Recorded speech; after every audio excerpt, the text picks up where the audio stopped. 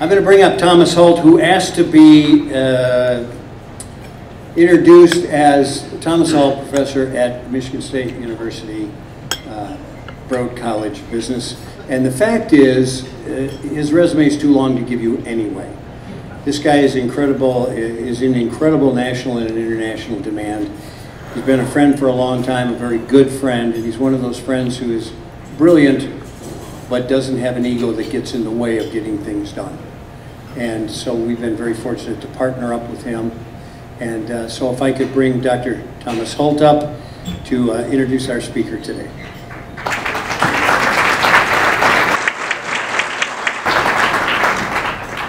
I think I told Chris something to the effect of just say my name because I wanted to introduce our speaker with a little bit of a longer spiel than normal. Apparently I'm too tall for this one, but I don't want to break it either. Close enough. Uh, so Claes Fornell is our keynote for today. He is the distinguished uh, Donald C. Cook Emeritus Professor in the Ross School of Business at the University of Michigan. Uh, in 1994, actually earlier than that is when this whole stuff started, but in 1994, he founded the American Customer Satisfaction Index, which is a monthly indicator of the quality of economic output of the United States. Just to give you an idea, we're talking about 250 to 300,000 or so surveys a year. Uh, not uh, exactly 50% of the economy, but almost 50% of the economy. And ACSI is actually the only national cross-industry measure of customer satisfaction. JD Powers and others give out the awards, but these guys are, these guys are actually the ones measuring it uh, in a really hardcore way for every industry out there. And for this, he has also received two patents, two US patents for the scientific methodology behind ACSI. And Forrest Morgeson, wave to everybody, buddy. Forrest Morgeson and that table over there is, I'm going to call it the ACSI team or table for today. Forrest Morgeson is the guy who actually runs all this stuff and, and uh, tries to make sense out of it. And obviously, Fornell is the backbone for this company, but several other companies as well. It's going to be a little bit hard to see up uh, on this slide, I guess, because I put a potpourri of everything. We call this the International Business Luncheon. And I think the sort of slide portion in the middle where it says ACSI around the world, that would be your international components for today. But I'm sure Claes or Forrest, for that matter, can answer any questions related to all of these countries. There are a bunch of different countries where they measure this stuff. I think, if I'm guessing right, they collect something like 70,000 customer service in Singapore. You know Singapore, it's like five, six million people. It's not very big. So this stuff really uh, carries around the world. Fornell is author of, uh, so I'm an academic, right? I'm, uh, at the Eli Broad College of Business. As academics, we always look at citations and impact and stuff that we read. And Fornell is the author of five of the top 50 most influential papers in marketing science published in our top journals. And his journal marketing article in 2016, the one of a couple, showed that trading based on customer satisfaction alone, which is the topic for today, uh, beats the S&P 500 by a wide margin. Something like, I'm going to round a little bit, but over a 15-year period, 14, 15-year period, this particular index, uh, and it's a true fund. So I'm not selling anything, trying to get you to buy anything, but you can actually buy into an ETF uh, called ACSI if you're interested. But that particular fund, if you look at it for that time period, beat the markets to the tune of 500% increase versus about 40% increase, 35% increase. So uh, there's tremendous power in this stuff as well. And he's got a couple of slides on it that he will talk about. I know many of you are interested in customer satisfaction at the true customer level because that's who you're trying to satisfy, of course, to make a profit or make some revenue at the end of the day. But it has uh, tremendous power on the bottom line performance of firms too. And I think I'll get into that a little bit. To do this customer satisfaction stuff, Fornell has funded several companies, including CFI Group. That used to be the big time consulting aspect of it. Frankly, it's getting a little bit blurry to me now, but maybe we can do Q&A on that. ForeSee Results is a company I believe uh, Fornell sold a, a, few years ago, but every time you go on a web page and you get a pop-up window asking about satisfaction, which is nine out of 10 times you go somewhere, you can uh, blame or give him credit for that pop-up, whatever they want to play with. And then Exponential ETF is where you can find the ACSI fund, with that particular ETF, if you will, plus a couple of others. Uh, all of those companies deal with uh, uh, lots of customer satisfaction at the firm level, but also at the country level a little bit. And if you're interested in that, you can talk to Forrest Morgeson about the country level type satisfaction too. just to give you a couple of numbers of the sheer power I think exists in uh, what Claes Fornell has done and is doing.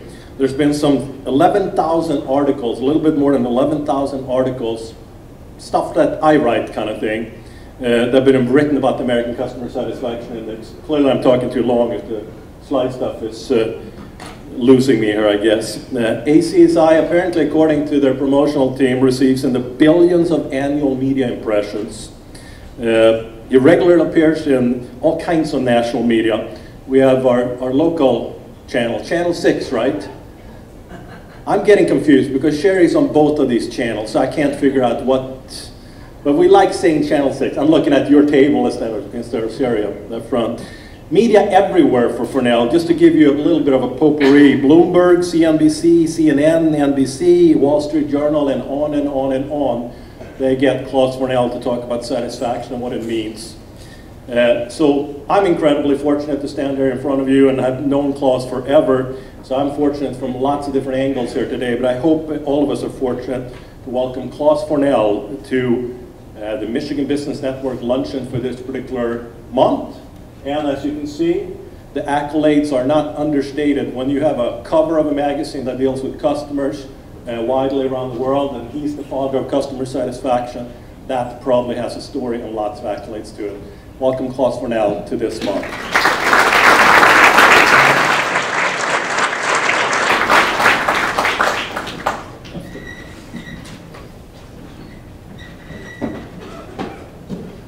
Is this stable? Well, Well, uh, thank you, Thomas, for, for that introduction. Um, I, I, I just had a interesting conversation with, with Sherry too, when I remembered where I actually come from. And, um, you know, I used to be a spy. Um, right after high school, in the old days, back home in Sweden, it was mandatory to, to do military service. And after a bunch of tests, um, they uh, thought that I was probably good material for the spying business. And that actually was what led me to what I'm doing today. Um, I, I was looking for unmanned Russian subs in the Baltic that we couldn't really see. So, you know, I treated them as unobservables in a bunch of equations uh, to figure out, you know, what, what they were doing.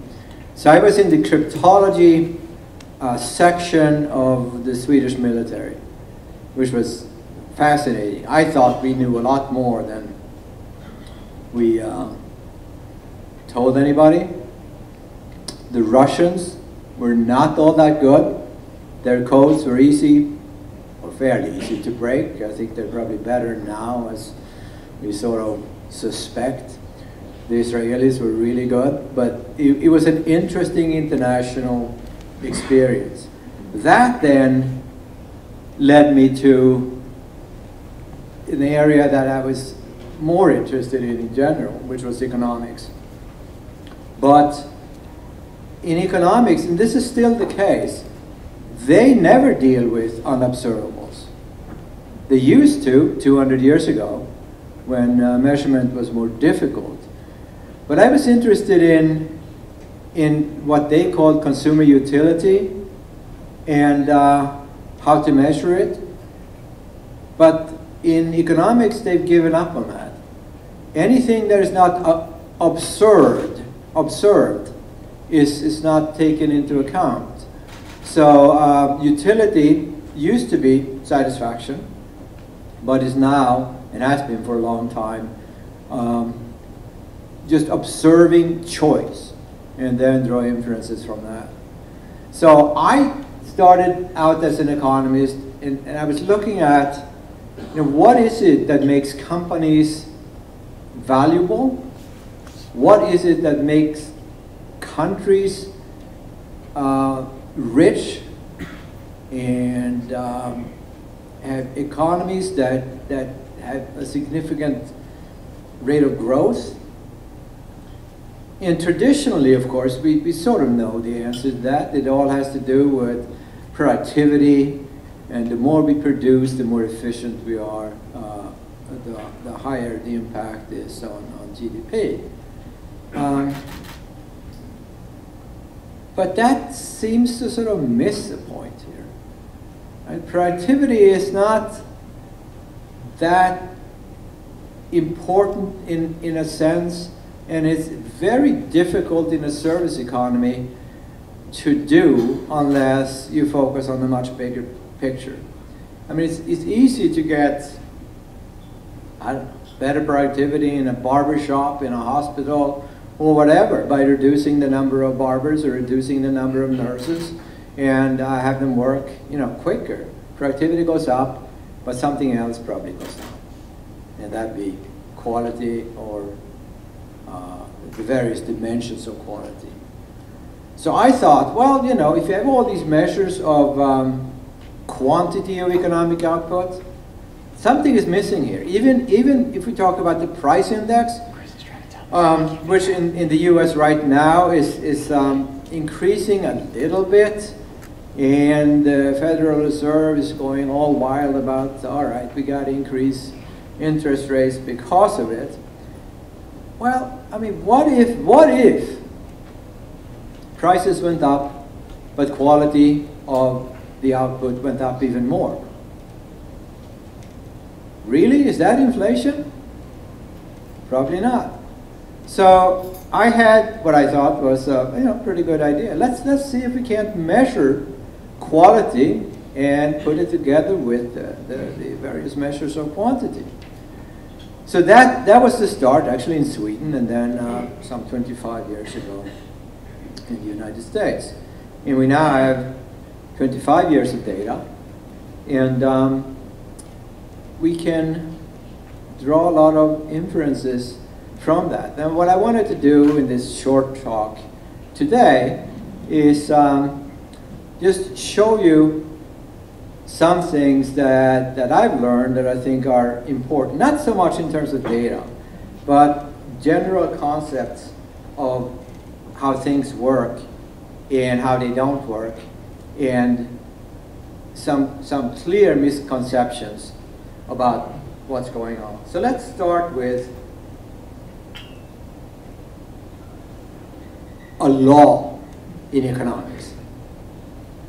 This is the law of diminishing economic returns, or rate of return, I should probably say. We have this in every economic textbook. Most companies probably get into something that looks like this sooner or later. That is, the more we put in, the worse the rate of, of return given that you're at, at some level of this, right? Now there are some exceptions when you have economies of scale, it sort of takes off after a while, and, and there are some other ones as well. But what I wanted to start with is how do we get the opposite? And I'm not, I'm not going to talk about national economies now, although you can do that as well, but for companies. Okay? So this is having an input variable or a company where you can see increasing rates of return. Now, here's one type. I'm going to show you two cases. The first one I think is easy to understand. In economics, we talk about rival goods and non-rival goods. This is what it looks like most often for, for non-rival goods. What, what's a non-rival good then? Well, it's easier to talk about or, or understand it if I first explain what a rival good is. A hamburger is a rival good. If I buy it and I consume it, nobody else can consume it. Right? The same is true with many manufactured products, cars, and, and the like. They don't have this built-in factor that non-rival goods have. And what's a non-rival good then? Well, it's something that I consume, but it doesn't impact the consumption of somebody else. You know, movies, books, information in general, and in part that's why we see the, the growth of uh, the whole information technology, right? So I'd rather be in this industry than in any other industry because I have this built-in phenomenon. But we can get it in other ways as well, and that's what I'm going to talk about today. The curve looks the same as it turns out if you put customer retention in here. That is, at higher levels of customer retention, if you retain 80 or even 90% of, of your customers, it looks like this. If you retain 20%, you know, you're at the low end there. And you have a long, long way to go. So the payoff, paradoxically enough, is higher at higher levels of customer retention. Okay? So that's where we're going to go. Now the starting points, I'm not, I'm not going to do the, the math. You just have to trust me that this is right. It, I mean, it, it's, it, it is actually simple. You can just, you know, convert percentages to probability of customer returning and, do some present value calculation and, and you get there, right? Now, the next one is understanding power. Where it comes from, who has it, and how to use it. And then there are quite a few unintended consequences that, you know, if you don't think about them, they're, they're sort of difficult to figure out. But let's start with, with power. This is um, Shanghai. I told my graphics artist to put me in that picture and put my hair on fire. So that's what that, that's, that's supposed to look like. If you have been to Shanghai, um, and I know we have gentlemen here that you know, is there often, um, it's sort of difficult to cross the street. I mean, you know, cars and bicycles and motorbikes come from all directions, and um, I, don't. I was going to say, unless you're careful, you may get hit. But you know, you get hit more often when you're careful, as it turns out. And I asked. I have an office in, in Shanghai and one in Beijing. So I asked the head of the office, well, why is this? And how, how do people sort of work with this? And his explanation was very simple. He said that, well, you know, we haven't had cars for that long. Fewer, few people had cars. Now, quite a few more, and it's fairly common to have a, a car in the family. And in the, in the old days, the ones who had cars were the powerful. And they could do just about anything, apparently. And that tradition has continued. So even now, when the middle class often has a car, they assume the same power. So in the absence of very strict rules, which we have, which we have in my home country, Sweden, where you know you follow the rules, and if you don't, you're in trouble. Here, apparently, you just if you know who's powerful, and I, you know, I didn't think of this, uh, then then you can actually maneuver without hesitation through roundabouts in Shanghai, and I found out Beijing is the same. So that's that's one thing that we'll, we'll get to in, in later on.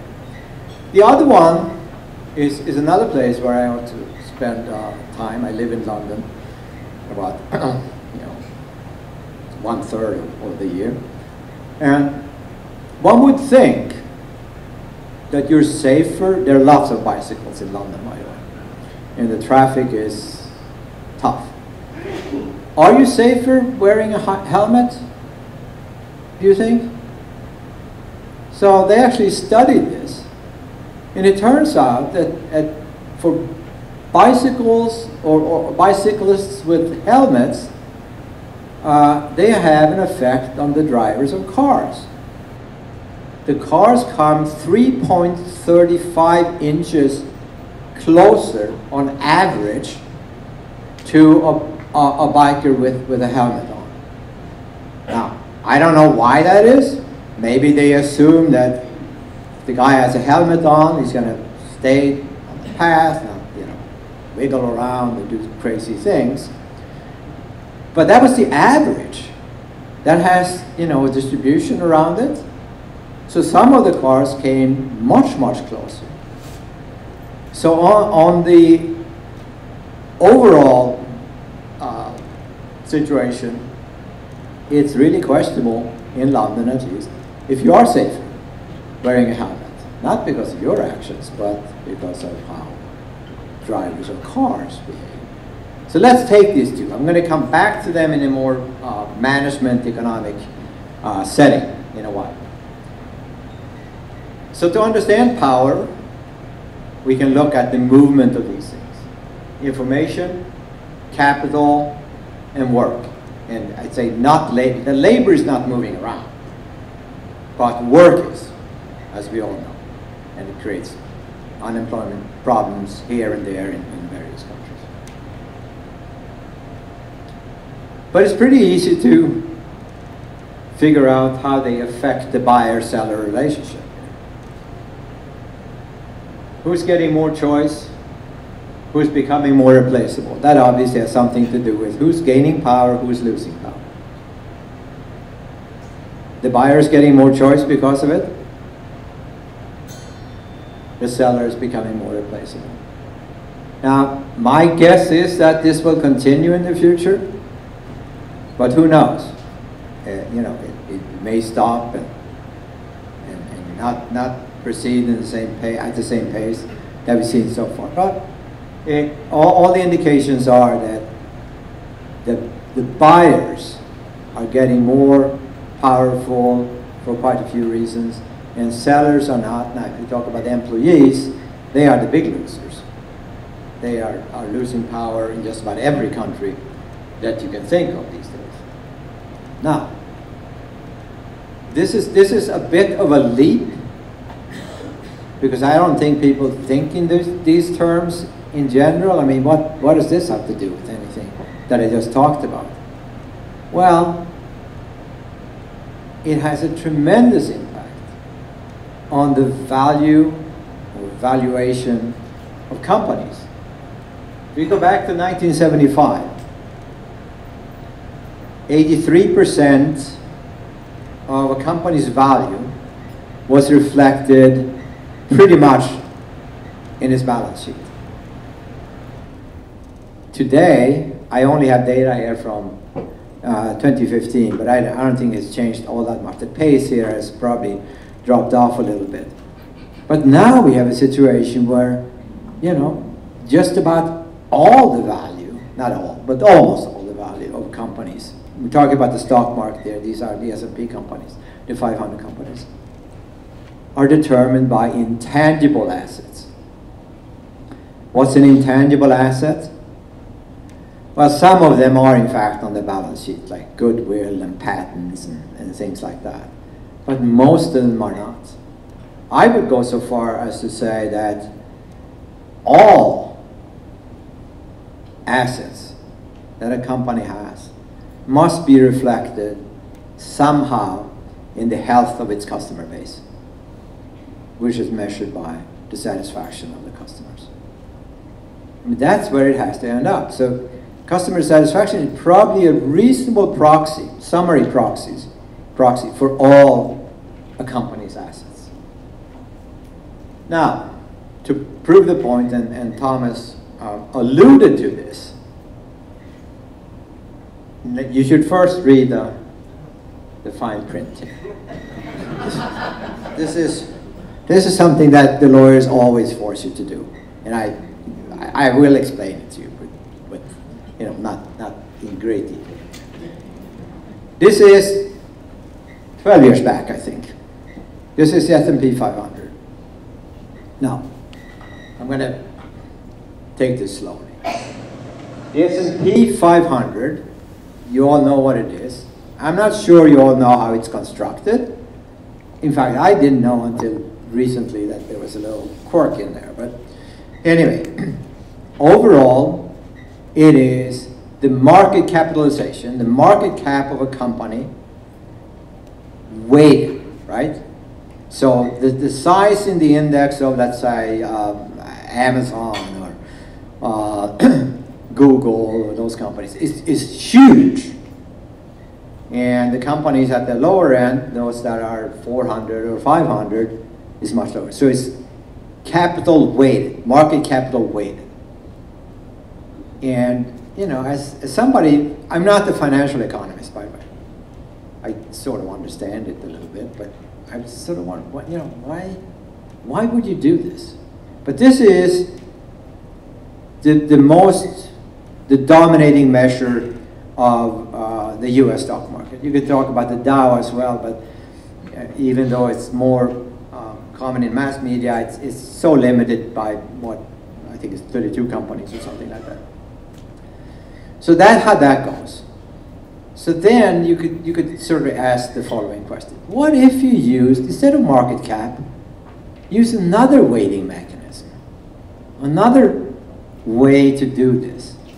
And of course, you know, I would then think of customer satisfaction.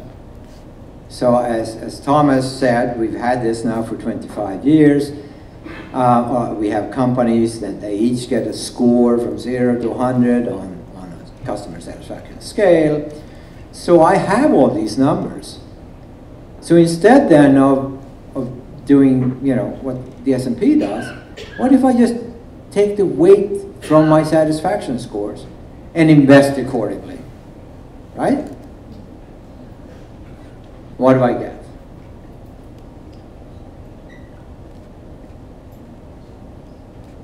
I'm not making this up. You know, eh, all of you can probably take that number, 300 and, I can't even read, it, 332 from here, it looks like, percent. That's 27% per year. Who gets that return? I mean, you know, it's almost unheard of, right? That's why I have this legal sort of thing at the end there, or at the bottom. It, it really is this, this type of effect that we're seeing. The, um, the legalese here has to do with the fact that um, not all of this was done before the market, so some of it is back tested. But in this case, in this case, the back test is sort of irrelevant. It's just a formula, right? I just plug in the, uh, the weights from the ACSI and throw out the S&P weights, and this is what I get. Now, I, I do run, as Thomas said, an, an ETF and a hedge fund before this and so forth. And uh, I'm not, I'm not trying to, I think I'm not trying to do this, sell it here, but you know, it's, it's almost too good to be true. And this is the power or the reflection of the power of the customer and the power of uh, customer satisfaction. Now, why, what's the mechanism you may wonder? What, why does this happen? Well, it's easy. First of all, on the average, there are always exceptions to this rule, but on the average, companies that satisfy their customers tend to be more profitable. Big surprise. But that doesn't explain everything here, right? They are more profitable, but it also turns out that in part because of this, they are also having more earnings surprises. And if you have a positive earnings surprise, your stock price usually goes up right after the earnings are reported each quarter. Okay?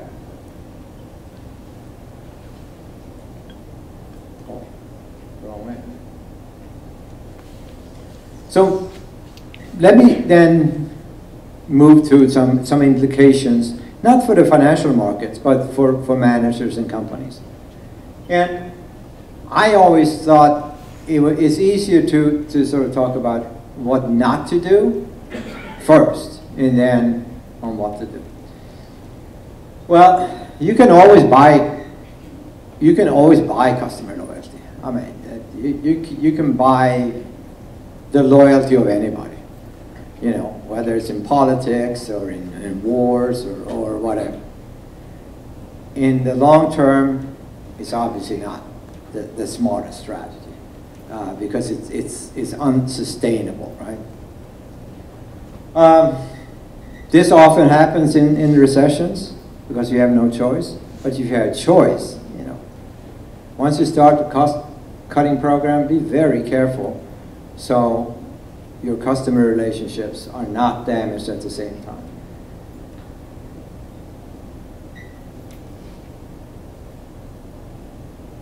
This is a popular thing. I don't understand it, but you know, um, more companies than I have seen ever before rely on very, very quick feedback from their customers, either via social media or quick surveys, or these kiosks that you have uh, here and there in various retail stores or in airports and so forth. Now, the information, the value of that information is limited. It has very little predictive power, and this we can go back, you know, there's fairly uh, well-known research by Nobel Prize winning economists, Donald Kahneman, certainly one of them, that, that shows that, well, it's not the instant reaction that is predictive, it's what the individual, in this case the customer, remembers that is predictive. This is not to suggest that one should not necessarily collect the instant feedback, because there may be something that's seriously wrong and you need to fix it. But uh, in general, as a predictive piece of information, it is not all that helpful. Another thing uh, that makes little sense is to ask customers what they want us, being, meaning uh, a company, to improve you always get some version of lower price and higher quality. And it's sort, of a given. We know how to do this. It's, you know, it's not terribly difficult. It's somewhat mathematical. But you have to figure out what's the relationship between what you're offering now and what the customer thinks of it, and then look at the slope of that thing. It's technical, I know it sounds like, but it's really quite simple. And, and that could, could be done by, I think, a good statistician. Another thing you should not do is reduce the number of customer complaints. Why not, people say? Well, you know, just, just think about it. What is more costly, not to receive a complaint and have the customer leave? Or to receive the complaint, maybe do something about it and maybe prevent whatever happened to happen again. I mean, it's pretty clear once you do the financial analysis of this that this, this is not smart. It also is, it creates some organizational issues. I've seen companies where some executives and even staff people are uh, have, having bonuses computed on the number of complaints that the company receives, well, you know, probably not a smart idea.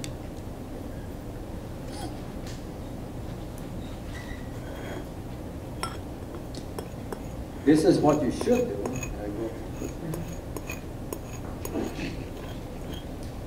All right.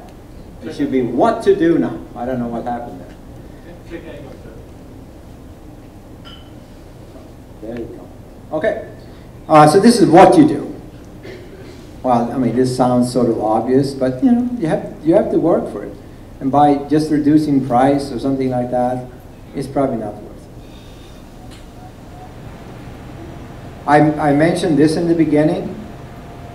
Balance, productivity, and service quality. It's very, very easy to take the wrong step here, trying to be, in, and particularly if you're in the service industry, to have each individual do more or do it faster or whatever. Uh, I mean, some cases it could work, but, but usually it has an unintended cost associated with it. And this is what I just said. I mean, the, this industry is actually growing. I don't understand why. Maybe because it's nice to get uh, very, very quick feedback, but the value of that information is limited. I'm not saying it's worthless, but it's limited. Cause and effect analysis. Um, is what you have to do. There's statistical techniques for it. There are other techniques out there as well. Um, unfortunately, I see too many companies that don't do any of this. They just collect massive data and then uh, you know cut it in terms of this type of customer, that type of customer, and, and that type of problem. And that doesn't really lead anywhere. So it's not very high quality, I, I'd say, for the most part uh, today. And I go so far as to say that you should maximize the number of customer complaints. Not by making your customers unhappy. I mean, that's the only caveat to that. But otherwise, encourage people to speak out, to complain, and, you know, learn from it and fix it. And again, the reason for that is that's a cheaper and more effective way than have a dissatisfied customer not complain and leave the company. I mean, it's, you know, fairly easy, but not the easiest thing to do.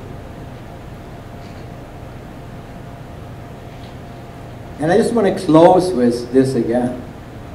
I've taken out the, the middle portion, and I don't have it quite up to date. But, you know, to go from intangible uh, values being 17% of the S&P companies in 1975 to 84% in 2015. I mean, that really suggests that we need to adjust our management drastically. And if we behave as companies did in 1975, uh, you know, unless we have a monopoly. So the only exception, I think, to what I just said across the board is that if you are lucky enough to operate in a monopoly, forget everything I said. You know, that, that doesn't apply.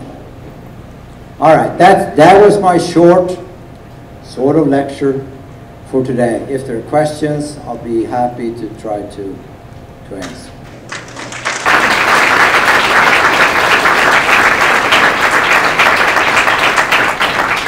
So we have a mic out here, Jeff, you got a mic handy, if anybody has any questions. Covered quite a bit of ground, so. I guess we need to think we covered everything. Right here, Jeff. See how it goes.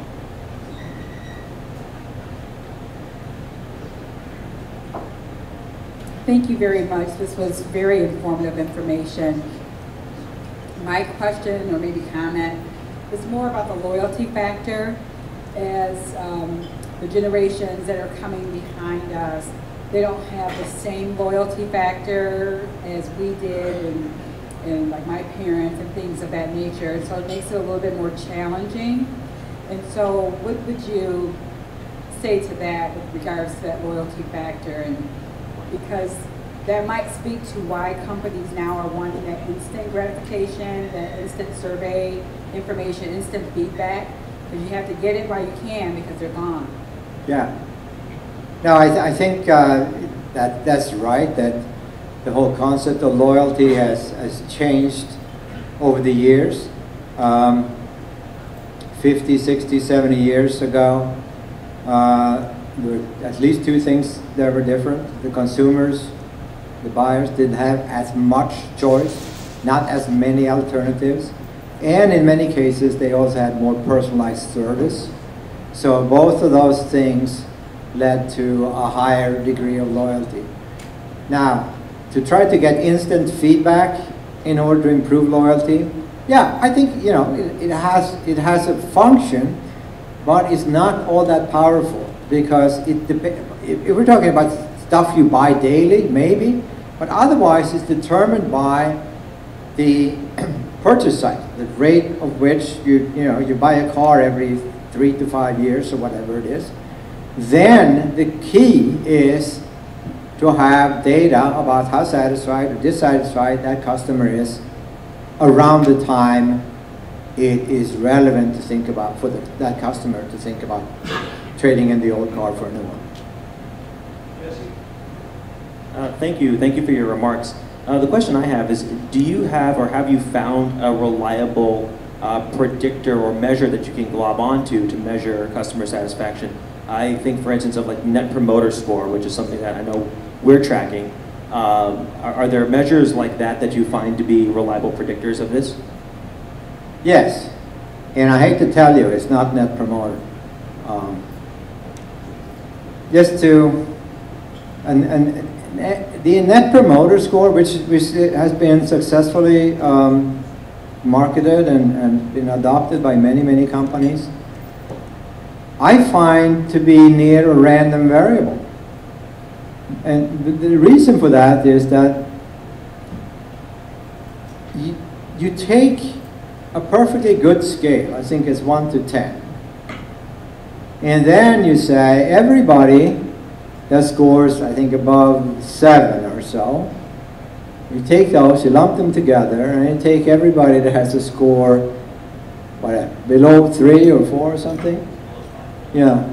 And you, and, and you take the difference of those two and say, up, this is my NPS score. What, what does that tell you? There, there are many ways on that scale that I can get to the same num number, and it has a completely different interpretation, right?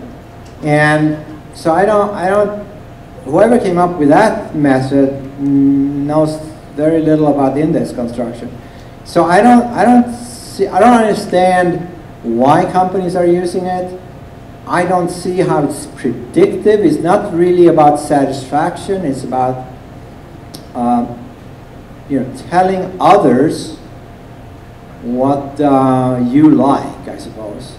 And you know, in social media that has an effect, but the, the index itself is, is a mishmash, right? Yeah, right, right.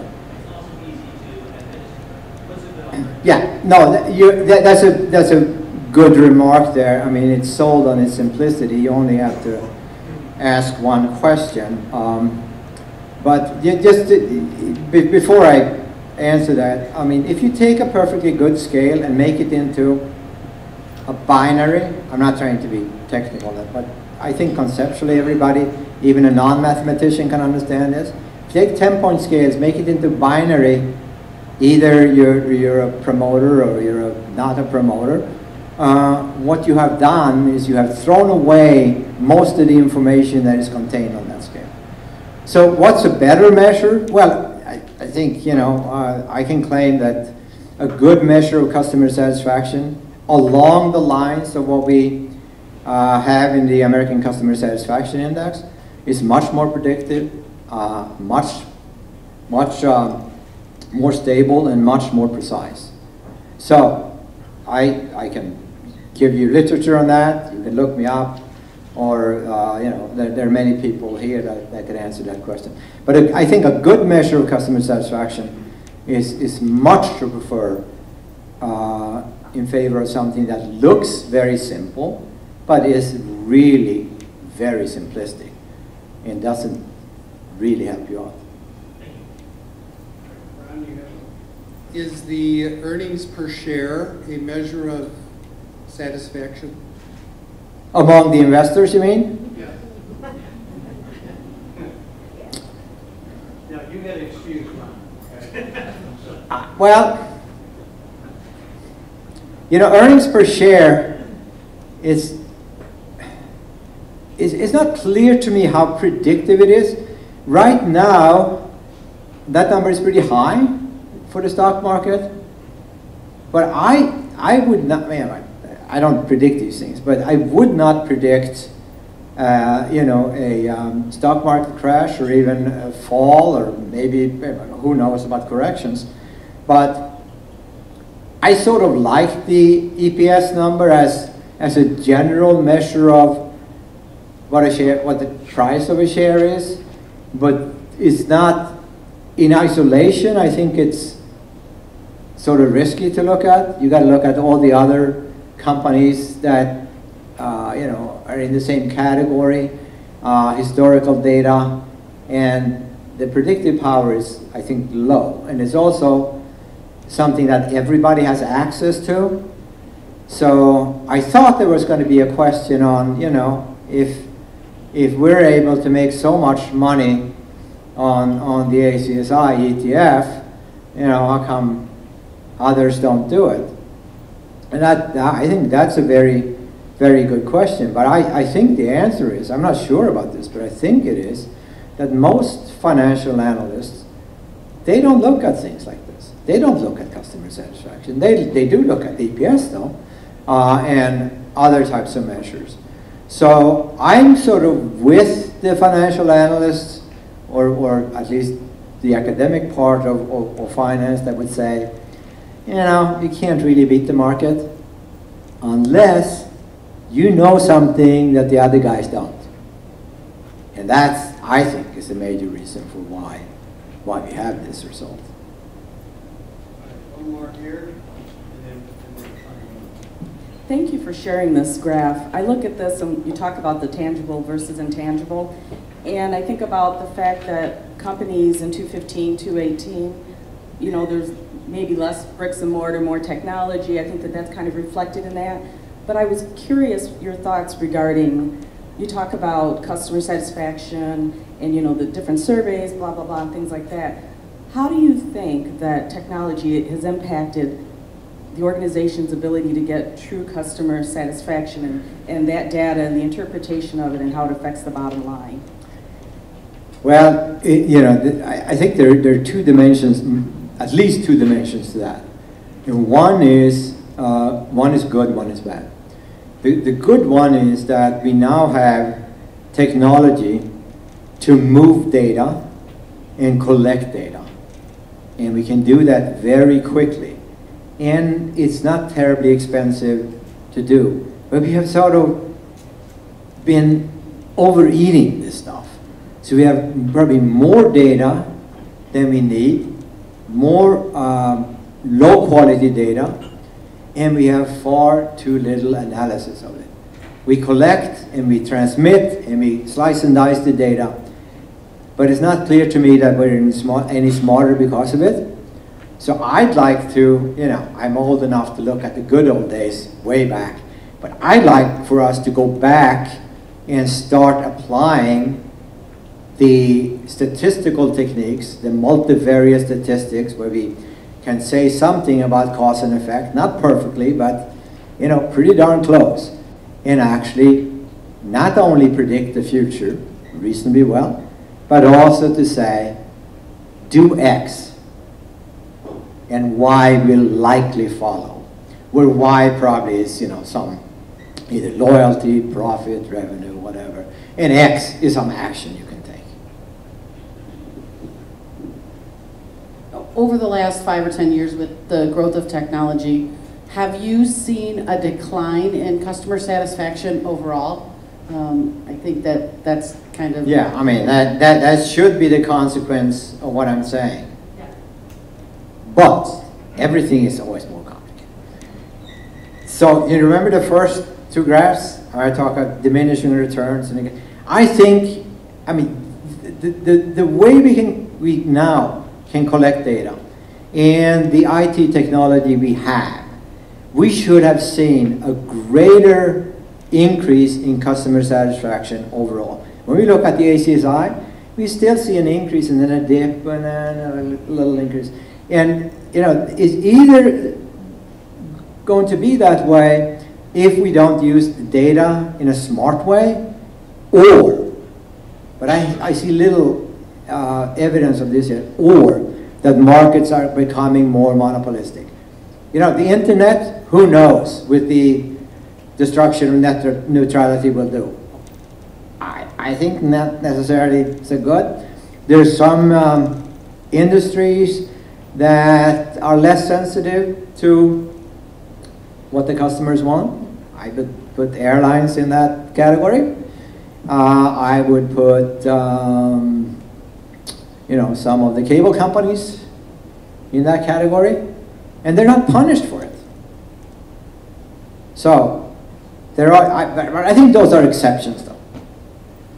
But you're right, we, we should see it in the overall customer satisfaction, but what I'm saying is not all that obvious how to interpret it. I can say that I should have seen a greater increase. Others would have said, well, you should see a decline in satisfaction. We're not seeing a decline overall, but we're not seeing much of an increase either. Plus four now.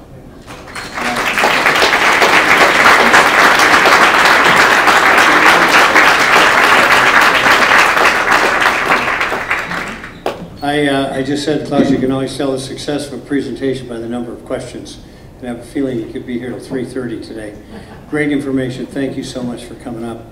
Um, You want to make sure on your calendar, September 4th, that's our next presentation, our next luncheon. Uh, We're going to feature uh, uh, Huei Peng, Huei Peng, I'm sorry, Huei Peng is the Director of M-City in Ann Arbor autonomous vehicle, so we'll get up to date, uh, really well up to date uh, with that presentation. Again, I want to thank all of our sponsors. Uh, They're in your program, etc. Uh, Our photographer, Dave Trumpy. Uh, Don't forget, you can go online, get anything that happened here uh, off uh, MichiganBusinessNetwork.com. I want to thank my team, because I always, I I never thank them enough. Jeff Mosier and Mike Steibel, Jeff McCowan, Chris Geiger, who's not here, and Sarah Mosher.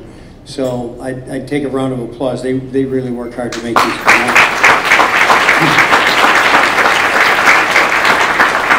And Claes, I'm sorry I didn't consult you before this, but you have a customer uh, comment card on your, on your table. Please fill them out. There's two easy questions, and we just want some direction as far as the value of this and what is going on.